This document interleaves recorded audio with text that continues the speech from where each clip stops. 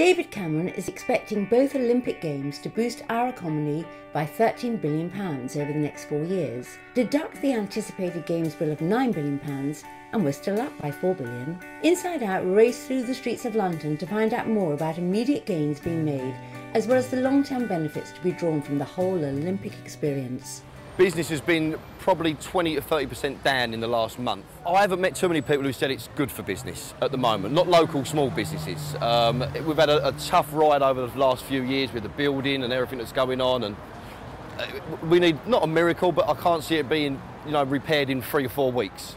The aftermath, what will happen afterwards if the, the 11,000 homes are built and the offices are built and the, the amount of the, the footfall and the people will come in, then that's what we're hoping for in the long run. I'm talking to Kerry Mort of Limo Bikes, who's in the business of currying people, not parcels. Kerry, how's business? It's got to be booming, hasn't it, with the Olympics? It is. It's very, very busy. We've got lots of extra bookings because of the Olympics specifically. And are people used to this being ferried around in this type of way, or are people quite nervous initially about, you know, getting on the back of a bike? We've a, we do have a three-time rule. If you've used it three times, you're hooked. Right, well, we'll get to have a go now myself, so we'll see what it's like. Good luck.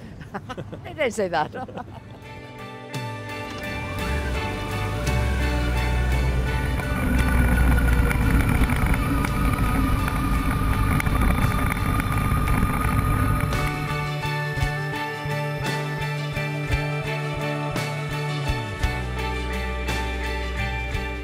My first port of call was to the CBI at Centre Point to talk to London Director Sarah Parker on the CBI's assessment of how well the UK could stand to prosper from the Games.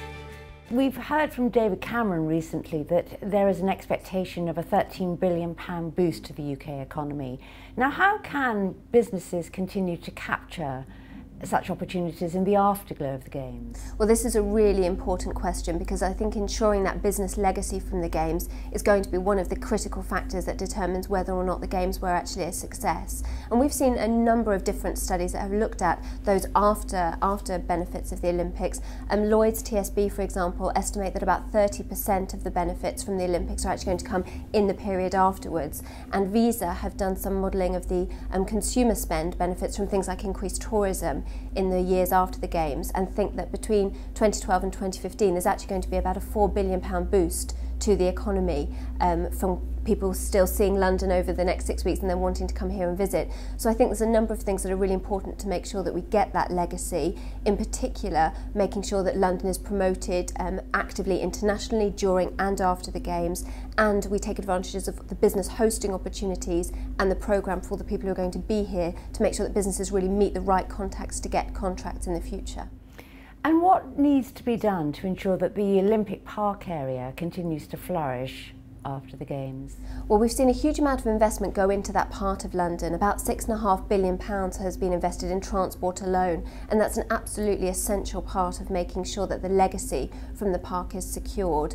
And um, there are a few key tasks over the next few months now, making sure that, for example, some of the Olympic venues have sustainable long-term uses, thinking particularly about the stadium and the media centre, making sure that we get good long-term um, future uses for those particular venues. But also I think it's important that we look beyond some of the hard infrastructure questions and think about perhaps some of the softer aspects of the games. Our members in particular were very keen to ensure that the skills legacy is ensured and developed from the games. And that's going to be really important um, in making sure that the companies that have supplied goods and services to the games win contracts overseas. And we've seen already that the um, the consortium that built the stadium have won the contract for the Sochi Winter Olympics in 2014 and we've seen similar things in Rio for 2016 as well. And then also making sure that some of the regeneration um, in East London is really taken advantage of over the next few years.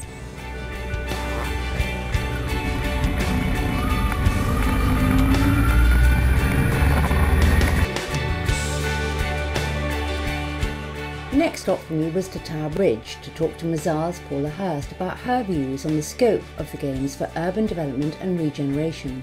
So Paula, let's start with your top three regeneration benefits uh, that the Olympic Games will be bringing to the East London. The Olympic Games has brought um, a huge amount of focused investment into, uh, into East London. Uh, a scale of which hasn't been seen for the last 20 years. And with that has come obviously a huge amount of increased spend within the local area. Uh, that's led to supply chain opportunities for local businesses, jobs for local people, but also importantly has created huge improvement in connections within the local area um, and, and connections to East London as well as within East London, both in terms of transport but within also in terms of physical connections across, across the East London boroughs. What can business learn from the ongoing local regeneration benefits of the Olympic Games? Real leadership from within the Olympic Delivery Authority, the London Organising Committee, that's really demonstrated and said this is a regeneration project. This isn't a construction project. This isn't just about the Games. And really pushing through that commitment to the social, economic, and lasting change for the area throughout the entire supply chain over the entire project. Now, all clients, I think, should have the guts to be able to challenge themselves to do that.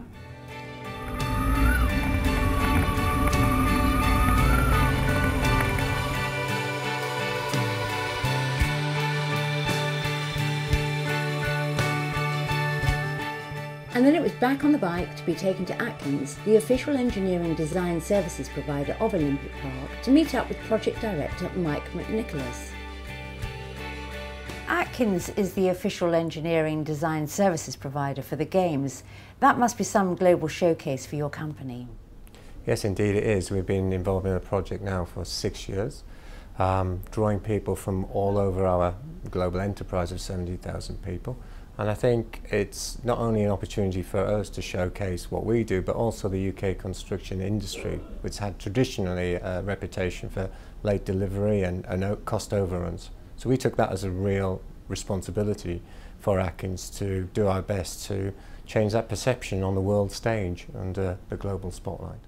What a lot of people are going to be asking is how Atkins has set about ensuring that the Olympic Park will remain a vibrant and flourishing London district uh, well into the next decade and beyond.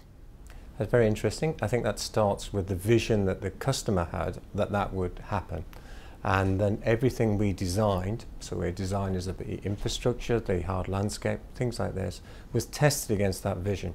Uh, the philosophy of 75 pence in every pound spent on legacy was really a, a underpinning theme on what we did as designers and setting in place principles, design principles, design tests that focused on end use, on the end use being the legacy, the legacy being the use of the park, and the social and economic impact that that park would have and reflecting that in everything we did as designers. What projects have you got coming up specifically because of your involvement with the Games?